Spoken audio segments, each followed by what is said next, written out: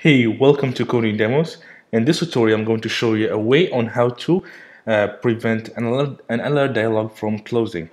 Uh, let me open up the emulator and show you what I'm actually talking about. So here I have the uh, button uh, says show dialog and by the way the source code for this project is based on the previous tutorial tutorial uh, it is the Android custom dialog so please be sure to check that out for your reference okay so here I have a button so I click on that. Then I have two edit text and two buttons. So let's say for example right I I inserted my email uh, mail at yahoo.com and then I put in password. So I have the password ready. So when I click on login okay login successful and it dismisses the dialog but let's say there's a case whereby I forgot to fill my email and I've inserted my password. So I click on login you see I'm not actually dismissing dialog instead I'm showing a toast message saying that please fill any empty fields. So that's what we're going to do in this tutorial. Uh, let's go to uh, Android Studio and open up the previous project. Okay. And then right in the uh, the login set on click listener the button right? We don't need this button anymore so I'll comment this out alright and then I'm going to the dialog underscore login. I'm going to remove the login button because we don't need that anymore.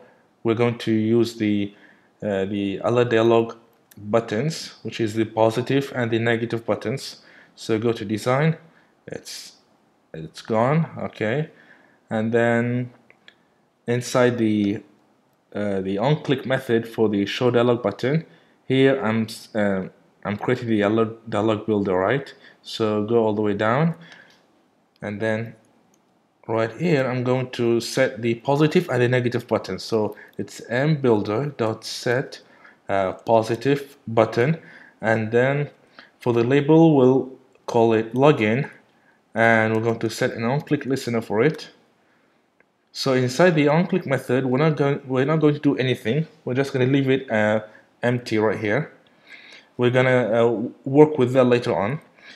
As for the uh, the negative button, we're just going to dismiss the the dialog. So mbuilder dot set negative negative button, and then give it a label of dismiss and set an on-click listener for it okay so inside the inside this method the on-click we're just going we are going to dismiss the dialog so dialog dot dialog interface dot dismiss.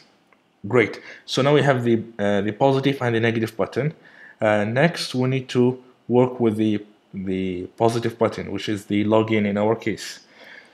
Uh, so you can see here I've defined it I have defined an alert dialog called and I name it dialog so right after the we show the dialog we're going to do something like this. So it's dialog dot get button.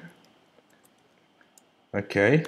And then inside the parentheses we're going to look for the the positive button through the alert dialog. So we we do alert dialog and then dot button positive. That's the one so you see I have button positive negative and neutral. So in our case we're going to work with the positive button so we'll select that positive button and then dot set on click listener and then new on click listener. Okay so here inside the on click method is where we're going to handle the logic where if any of the whether the user have actually filled both fields or we have he had forgot to fill any of the fields. So we'll just copy the code from the login on click method. We're just going to copy this and we're going to paste that inside the, the positive button here. So paste that here. Then remove the comment, arrange the code. Okay, another thing is if let's say the user have successfully filled the email uh, email, email address and password, then I'm going to show a toast message and I'm going to dismiss the dialog. So to dismiss it, you can just call dialog. So I say dialog dot dismiss. Okay.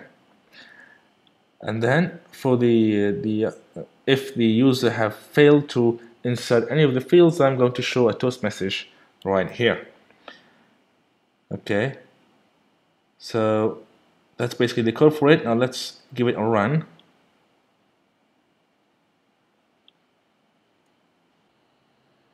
Okay. Uh, the app is visible on the emulator so click on show dialog. And then we have the the box here. Now we'll just uh, let's say I put my email address email at yahoo yahoo.com and then password as any type anything. Click on login okay the toast message is showing successfully login is successful. Let's say I click on dismiss okay dialog is dismissed I click outside the dialog is dismissed that's okay. Click on login. There you have it guys. The toast message is showing up. If you forget to fill the the two edit text or either any one of them. Okay? So that's basically for this short tutorial uh, if you like what you see please give it a thumbs up. If you want to see more of these awesome tutorials please uh, click on the subscribe button. Thanks again for watching and happy coding